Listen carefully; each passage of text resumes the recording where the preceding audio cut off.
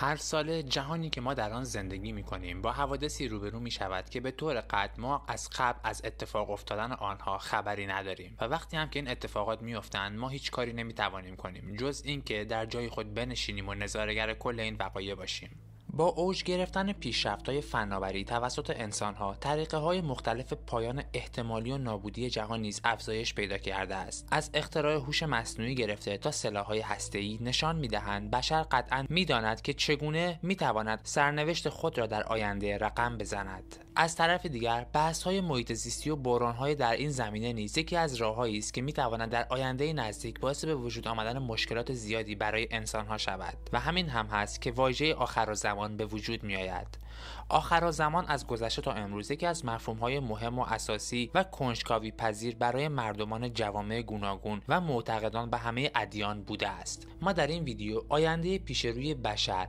و اتفاقات مهمی که از سال 2022 شروع می شوند و سرنوشت تمام انسان ها از جمله ما را تحت تاثیر قرار می دهند برای شما شهر میدیم.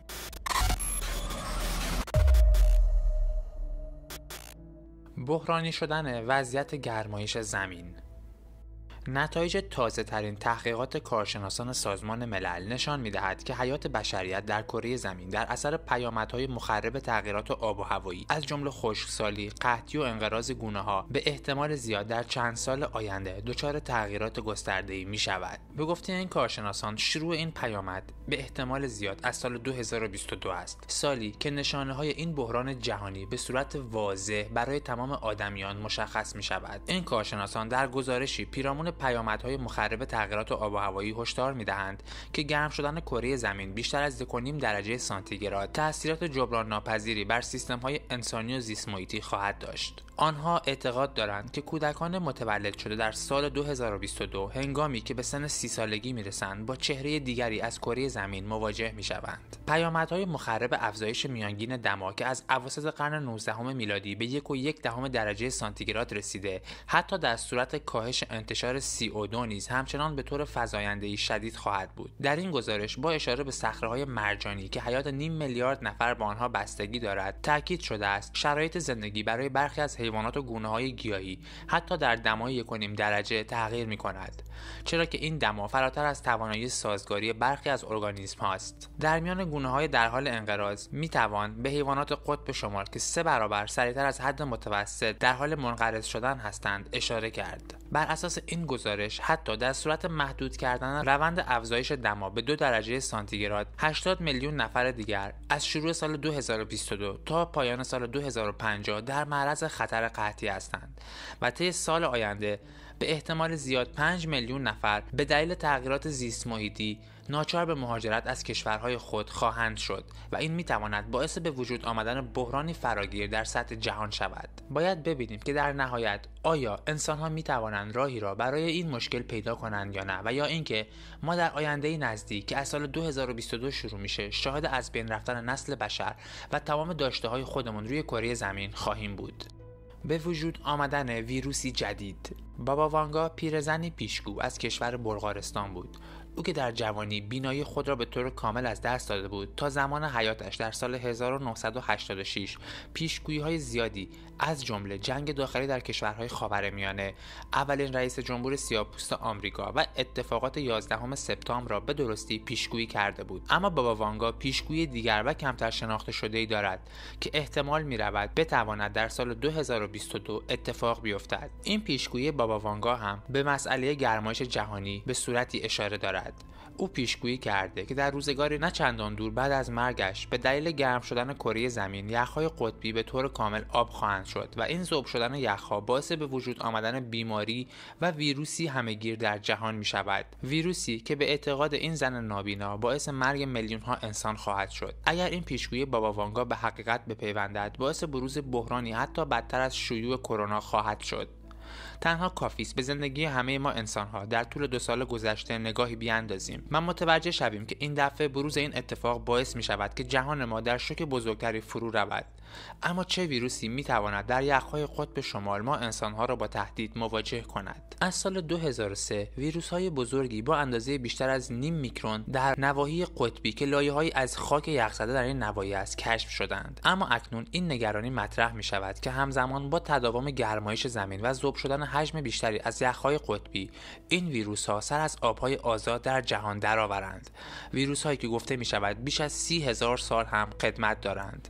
دانشمندانی که این وضعیت را بررسی می کنند از مطالعه ویروس های سی هزار ساله نظیر مولی ویروس خبر می دهند که در محیط های یخزده ای همچون لایه پرمافروست قطب به دام افتادند آنها هشدار می دهند که این ویروس های باستانی می توانند آسیب های بزرگی را به جهان امروز ما وارد کنند زیرا بشر و دانشمندان هیچ اطلاع دقیقی از رفتار و واکنش آنها نداشتند دانشمندان با اشاره به این موضوع که تاکنون چند نمونه محدود از این ویروس ها را شناسایی کرده و مطمئن هستند که می تواند برای سلامت انسانها خطرناک باشد این نگرانی را در میان انسانها هشدار می‌دهند که همزمان با ذوب شدن یخهای قطبی دسته از ویروسهای مرگبار سر از آبهای آزاد درآورده و به تدریج به زیستگاههای انسانی نزدیک می‌شوند و حیات انسانها را می‌توانند با خطری جدی مواجه کنند. نظر شما در مورد این پیشگویی بابا وانگا چیه؟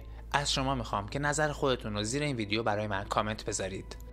تاخت و تازهای خیره کننده فناوری سالها پیش با اینکه رایانه های شخصی و تلفن های همراه در حال توسعه بودند اما درک اینکه چگونه فناوری ارتباطات را دگرگون می کنند دشوار بود.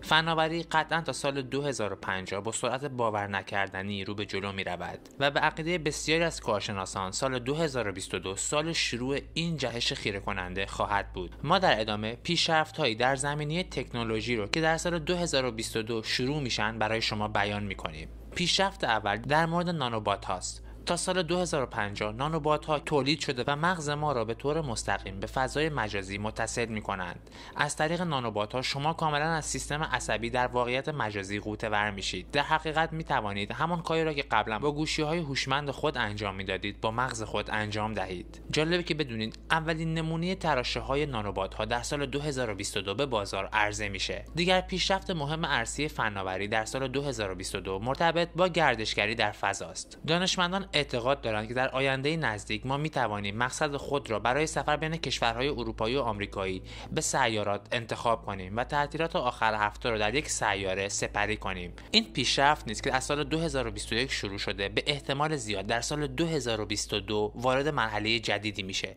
و بسیار از انسانهای عادی با پرداخت حتی هزینه هنگفت هم می‌تونن به سیارات دیگر برای تعطیلات و سفرهای تفریحی سفر کنند.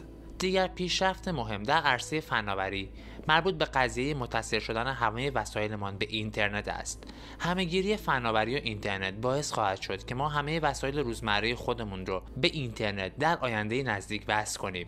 در نتیجه شاهد تغییر در طراحی محصولاتی که سر و کار در زندگی ما دارند خواهیم داشت. برای مثال در سال 2022 قرار دستگاه قهوه سازی که به اینترنت متصل شده وارد بازار بشه که با توجه به دستورالعملهایی که در اینترنت وجود داره برای شما قهوه بسازه و این می‌تونه یک پیشرفت بزرگ در دیگر وسایلی که به اینترنت متصل میشن برای ما فراهم کنه. اما یکی از مهمترین عرصه های پیشرفت تکنولوژی در سال 2022 مربوط به پروتزها و اندام های مصنوعی است. قطعا پیشرفت تکنولوژی پای خودش رو به دنیای پزشکی و مهندسی پزشکی نیز باز می‌کنه و با همهگیری استفاده از پروتزها و اندام های مصنوعی معلولیت های حاصل از قطع عضو در سراسر دنیا به زودی ریشهکن میشه. همچنین ایمپلنت های سایبرنتیک برای تقویت عضلات پا هم به یک انتخاب برای مردم تبدیل میشن.